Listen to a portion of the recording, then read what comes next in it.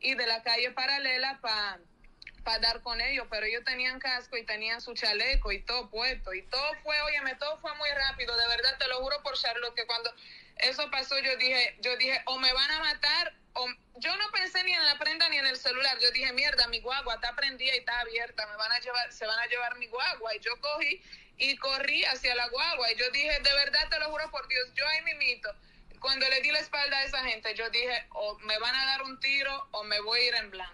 Mírame, y la guagua no tiene GPS. ¿Por qué, tú no, por, por qué arriesgar la vida, Alessandra? ¿Cómo así si la guagua? Ah, no sé, ¿qué fue todo? De verdad, a mí nunca en la vida, yo viviendo en RD, a mí nunca en la vida me habían atracado. Yo nunca, nunca a mí me había pasado nada. Por eso cuando escucho gente que dice, nada, que a mí me atracaron, que si yo cuántas veces, que a mí, a mí nunca en la vida me había pasado nada. Y eso yo siempre lo he dicho, a mí nunca me han atracado, a mí nunca me ha pasado nada. Nunca me habían atracado. O sea, Mira. no sé, fue como el momento, fue muy rápido y ese tipo me dijo, dame todo y lo veo ahí con... De verdad, yo le pido a Dios que salga la cámara de grabación para que, para que, para La- que, para que la gente no crea que es sonido, que- que es sonido tuyo. la cabeza, ¿eh? Para que la gente vea que es verdad y que no es sonido tuyo.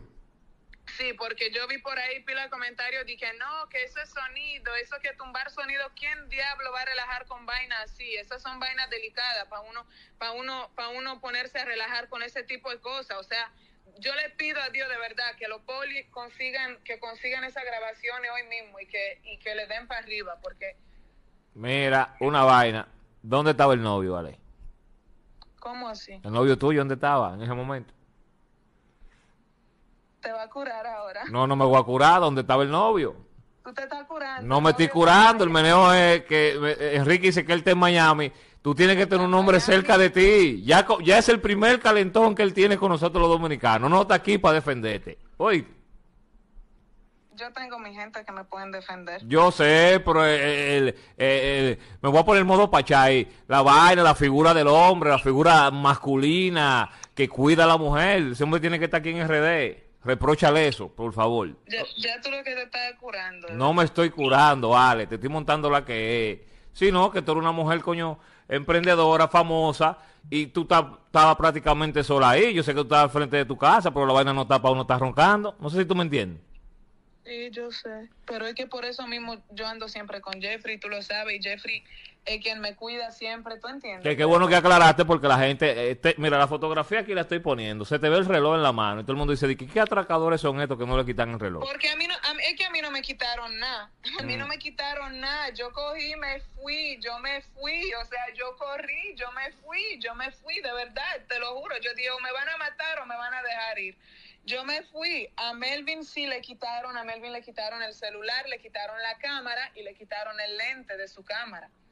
Ok, bueno, pues gracias Alex. Ojalá eh, cuando eh, la policía eh, te facilite o los vecinos, las Sí, cámaras de seguridad, ma- pa- pasa eso. En la Tuey con esquina Guaca, Guacanar. Guacanagaritz. Ajá, exactamente. Eso en lo ahí Cacicazgo. A mí, en lo Cacicazgo, sí, a mí me vieron mucha gente, mucha gente me vieron y nos vieron y hubieron gente, y te digo, hasta delivery de colmado y toque, que vieron lo que pasó y se vinieron huyendo, pero los atracadores ya se habían, se habían ido. Eso fue como, que 30 segundos, eso fue rápido, eso fue menos de un minuto. ¿Y tú entiendes que ellos te conocían a ti, Alex, o no? Yo, para mí de verdad que esa gente no tenían acechado, porque es que por ahí no pasan, o sea, como que a esa hora no pasan tanta gente y tantos vehículos, y en una, al- a lo, a lo último, yo le digo a Melvin, mira, estoy viendo como mucho movimiento, y para mí que me vieron la guagua, nos estaban acechando, y vieron que él y yo estábamos solos ahí. Ujú. Ok. Bueno, pues con Dios, qué bueno que, que estás bien. Un abrazo. Gracias. Adiós.